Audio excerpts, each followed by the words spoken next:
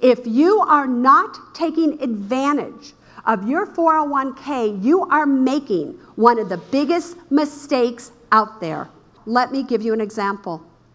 You're 25 years of age. You start putting $100 a month away right now into this account. And you do so every single month until you are 65 years of age. For 40 years. Do you know at the age of 65 you would have $1 million? If you start at 35 rather than 25, when you are 65 years of age, you will have only $300,000.